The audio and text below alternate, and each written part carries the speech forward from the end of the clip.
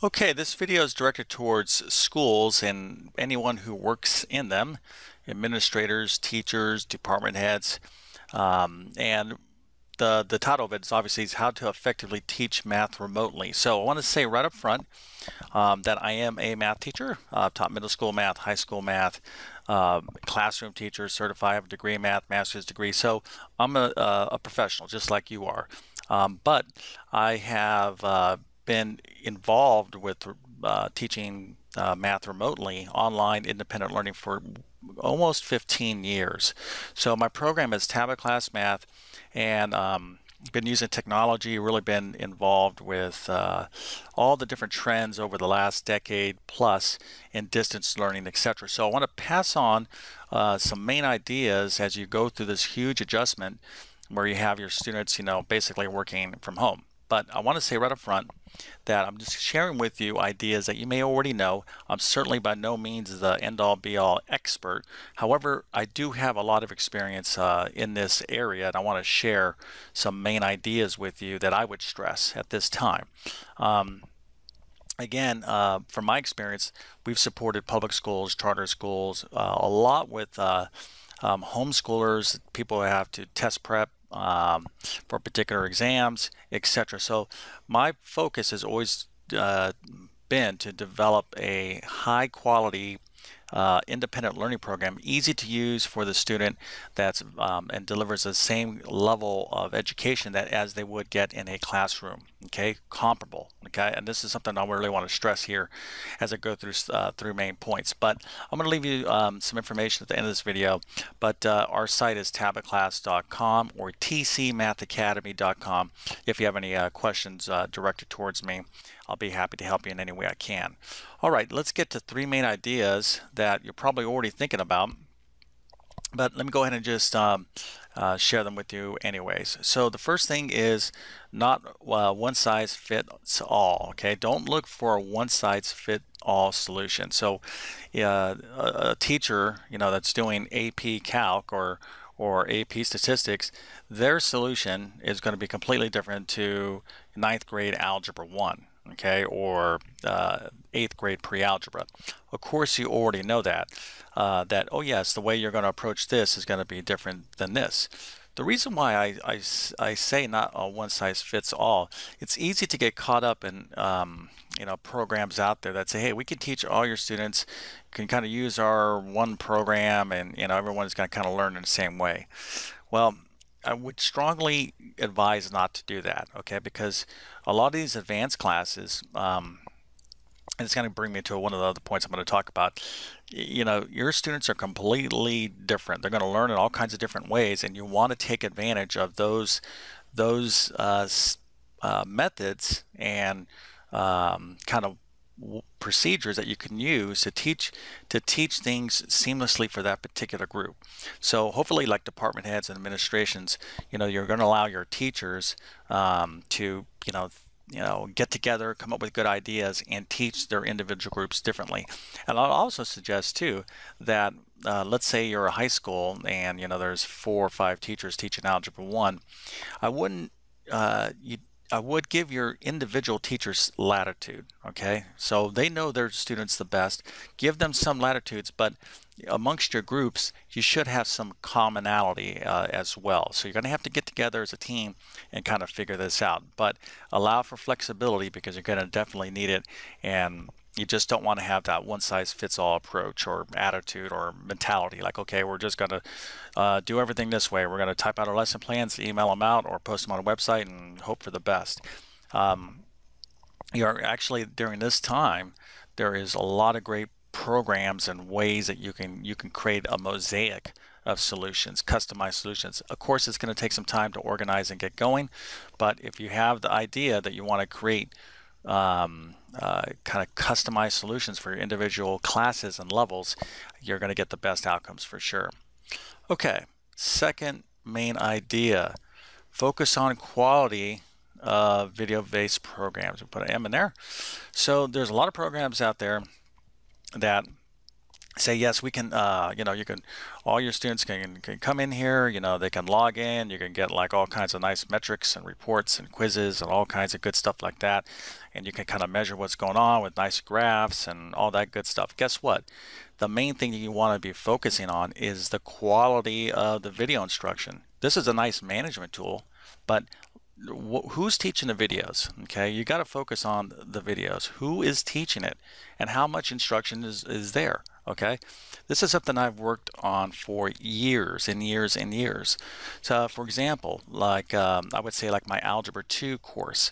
That's it took me two to three years to develop the amount of instruction there because I wanted to make it the most high high quality amount of videos. It is a huge uh, undertaking if you're going to try to develop a system that is very comparable to what a student gets. So let's just take, for example, um, I'll just use an Algebra 1 um, kind of lesson. Let's say the quadratic formula. Okay. Now, of course, you can get a quick little, you know, video lesson. Look, a, a video, maybe it's 10 minutes. You're lucky to even get that and it's a quick lesson, explains what it is, and here's one or two examples. That's not nearly enough what a teacher would do to actually teach to teach this topic. Quadratic formula, let's say a teacher would, would spend a day or two or three in your high school or, or middle school. Um, let's say if it's a eighth grade algebra one course, like an honors type of program. So you're talking for this particular topic, you would want to have a lesson that's comparable to what a teacher is going to teach which which is going to be what? Let's say one hour, maybe it's 20 minutes of direct instruction. And then you got a guided practice, right? Teacher's going to go up and do do some problems. Here's how you let's do a variety of problems, etc. Then you got like homework uh, review. Okay, so the teacher's going to do some videos that or do some uh, answer questions about the homework, etc. So there's a lot of demonstrated uh, practice. Students are not going to get it by a quick tutorial. Okay, and in in terms of does a person know how to teach? Does a person actually know how to speak to young people? Okay, you got to have that kind of personality and that communication skill. Know who your audience is. All right. So um, this comes from experience. That's why you know great teachers, you know, are are are so important in our society. You the only way you're going to become a great teacher um, in my opinion, is you you need the experience. You can have a knack for it, and you can know this material well, but the biggest uh, role of a teacher is their communication ability. Okay, can you communicate abstract concepts in a way that students like and understand? So, extremely important. Just don't get dazzled or uh, like, wow, this is a program that you know we can just use and it will handle everything for us. I mean, if you, you do what you obviously have to do in order to manage your your situation, but really, if you can, um, focus on the quality of the video instruction and have your teachers evaluate them. Okay, let them say, hey, are they comfortable uh, doing, you know, um, you know, uh, with this particular video instruction for their students. So for example, in, in, in our tablet class math system, we used to have, uh, we, we did a great job with like uh, flip classroom, all this kind of different concepts where a teacher would use like, let's say a smartboard. Um, here's all your students in the class, okay, here, let's just kind of draw them out in their desk. The video um, projection is teaching and it's teaching, let's say this quadratic formula lesson, and all the students are learning from the video. Now that frees up the teacher to kind of go do some, you know, work with this one particular student individually. Well, you can kind of do the same thing to a degree online, okay? But you got to be able to have high quality video instruction that matches what the teacher's um, going to be doing. So just don't go with the biggest and names out there, uh, I wouldn't would strongly suggest evaluate your options, especially if you're going to be you know make any kind of longer term commitments to a particular program. All right, so let's kind of get to a last main idea, and of course there's other things here, but these are some big picture things that um, you know really want to you know put out there to get your your your mindset you know uh, right. At least this is how I would approach it. And uh, teachers, you need to really take differentiation to a whole nother level. Okay, so of course, teachers we already differentiate because we have different, you know, people in our classroom that have different needs. But now is a time to where I think that concept is going to pay big dividends because let's take a classroom, let's use our Algebra 1 class, let's say it's 20 students, break them up maybe in four groups, A, B, C, and D, and now you, you know you're kind of taking like the 80-20 principle. Each one of these groups, you know, you can maybe give them different guidance on on how to uh, handle the course material, right? So group A, these are your star students, you know, you know, uh, just you know, math's their thing. They love math. These are kind of the self-learners, okay? So you as a teacher don't want to be given individual focus to your groups, you know, um, in the same proportion, okay? So, you know, for right now, you only have a limited amount of time yourself. So let these star folks give them direction, give them, you know, hey, let them kind of do their thing and let them kind of, you know, uh, learn on their own. So with with a good, you know, uh, supplemental program or maybe with your material, you know, let them do it and maybe check in with them maybe once a week or so. Uh, maybe groups B and C are kind of more your average students. Maybe you're checking in with them every every two days or whatever the case is, two to three days. I'm just kind of throwing some numbers out here, but let's say this is your weakest group, group D. This is the people that you got to like really watch day to day, right? So you have to really use the concepts of, of differentiation to maximize your um, where you're putting your resources as a teacher and as a school. Uh, you know, principle to keep in mind: 80-20 rule, right? So 20% of your students are going to really require 80% of the focus so they don't fall behind. Okay, but figure out, um, you know, uh, in your classes, try to identify. But the teacher knows the best. The teacher has a good sense of, of um, you know, who to kind of put into this group, and you can shift people around accordingly. But you need I would strongly suggest uh, teachers, if your school can do it, to get some sort of supplemental uh, video program uh, to, to help you out. Okay, so be on the look for that. You need kind of a teammate uh, in this uh, in this in, in these times. But I can tell you right now, I've been doing this for a long, long time. Effectively work with public schools, charter schools, homeschoolers, independent learners. This is what I do.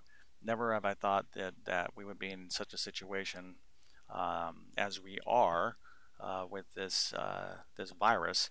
However, I will say this: I've seen these models work extremely successfully. Okay, I'm very proud of uh, the things that I've been a part of, and it's been uh, the result of a lot, hard, a lot of hard work and experimentation, and not uh, you know being willing to be flexible and improve. So, you know, general advice out there. Hopefully, you've already thought of this, but you know, if you hear it from me, it's just another person maybe to kind of say, "Yep, that's what we're focusing on," or maybe I'm giving you some ideas to to to, to think uh, differently about how you're going to organize your uh, game plan. But let me go ahead and wrap this video up. If I could help you in any way, okay, uh, of course you can leave comments uh, in this video. I appreciate that. But best way to uh, reach me, um, the founder of TabletClass Math, is to go to tabletclass.com. Okay, and I'll leave the link in the description of this video to to reach to reach our site or TC Math Academy, tcmathacademy.com. Okay, so either one of those URLs will get you to our main site. You can kind of check out what we do. And then there's a contact form. If you have any questions, we'll try to get back to you um, as soon as possible. Of course, this is a busy, uh, extra busy time for us, but we want to help. Um, now, just leave you with one last quick thing. Our focus is on middle and high school uh, math primarily. Um, we do a lot with test prep and homeschooling, but we've been in this for many years successfully and we can help you okay? So if you got questions you can uh, reach us through the contact form on our website but I want to wish you all the best.